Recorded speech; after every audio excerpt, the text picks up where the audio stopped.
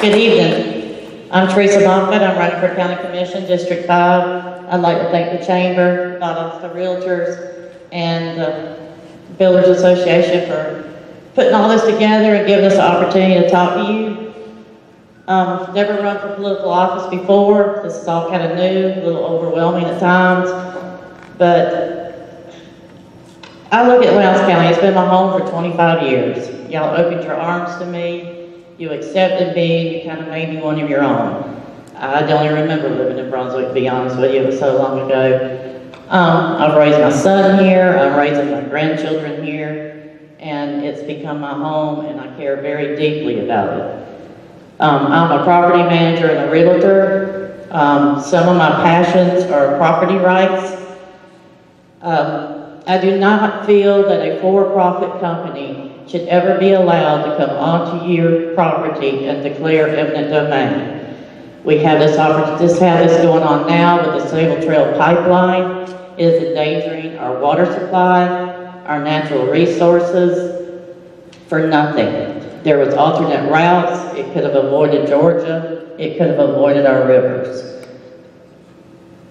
I stay on the rivers a lot. I enjoy kayaking and canoeing. It's something our family does. It's, you know, we just enjoy being out there, enjoying the nature. Um, my daughter shared a quote with me the other day after we went kayaking together.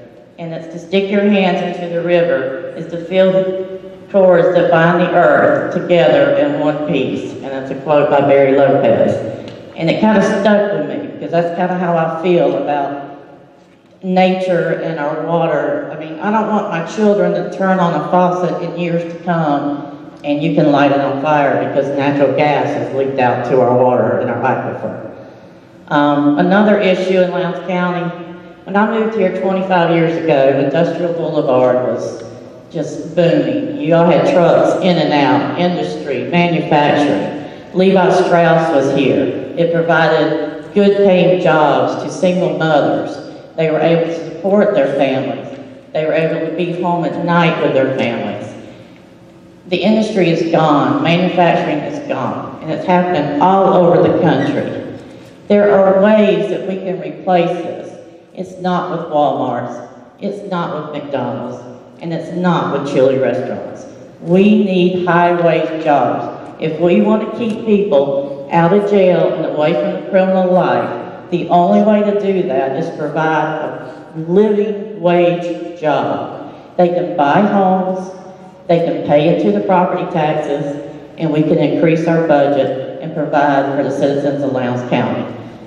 My name's Teresa Moffitt. I really wish you would support me, and I ask for your vote in November. Thank you.